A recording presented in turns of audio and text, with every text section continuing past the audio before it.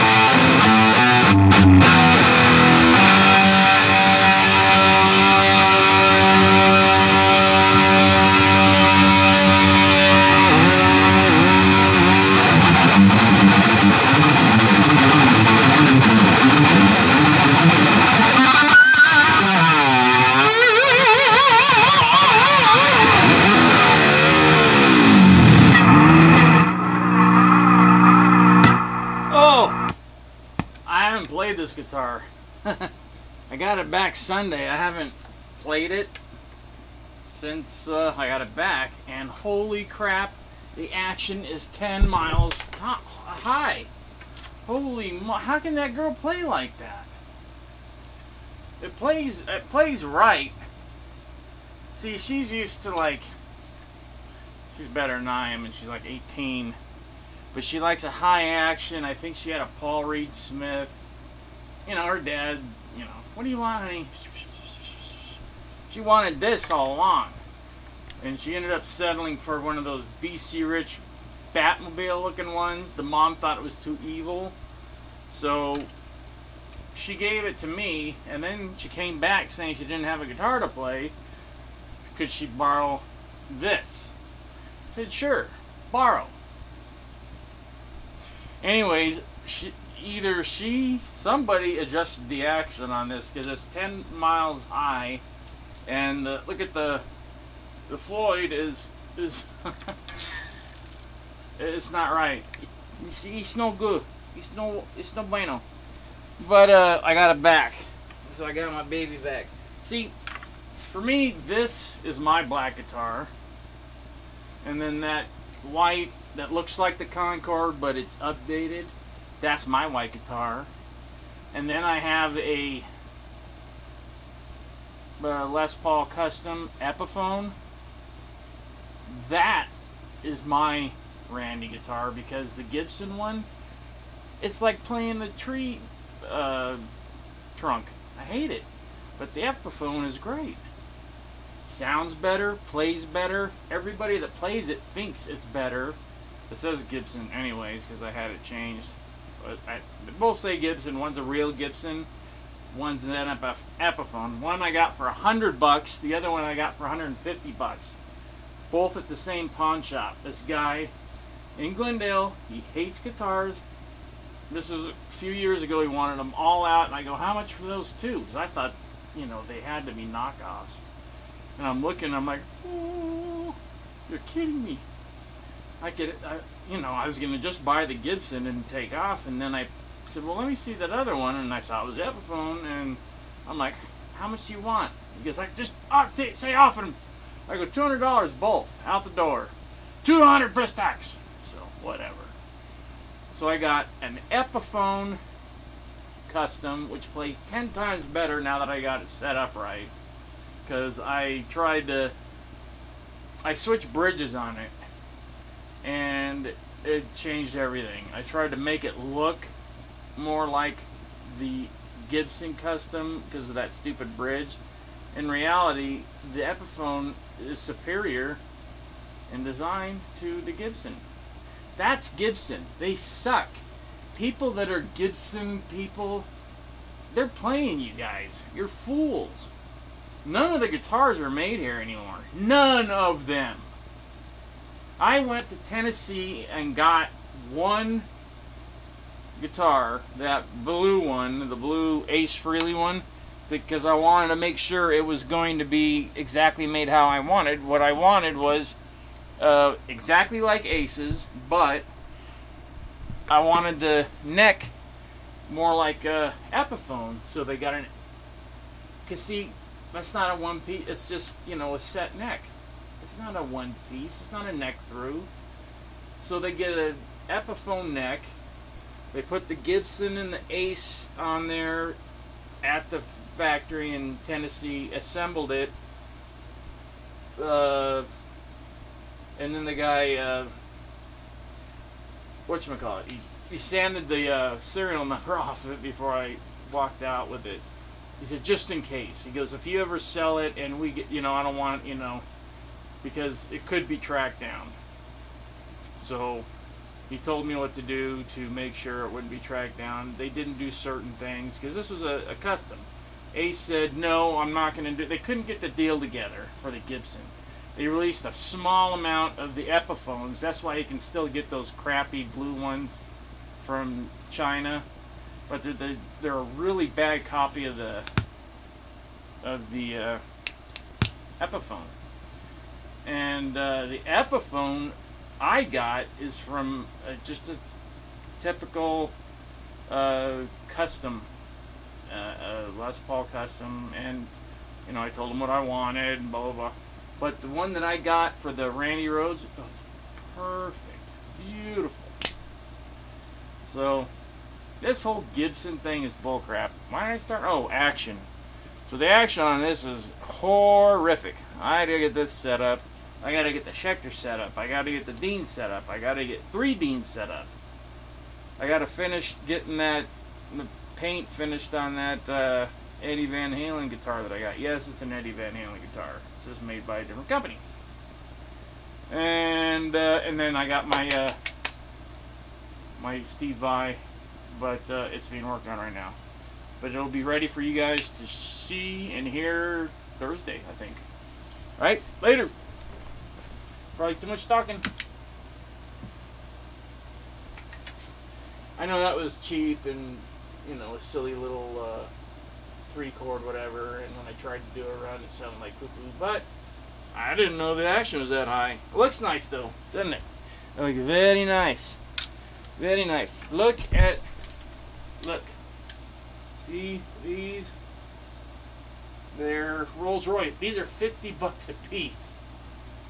These. And then this goes on the headrest. That's 50 bucks. So if you're willing to spend that, I don't know. It looks cool to me. Some people think it's stupid. Uh, stage-wise, bad idea. Because they're too little to fumble with. But if you're not going to use it on stage, looks cool to me. Alright, later.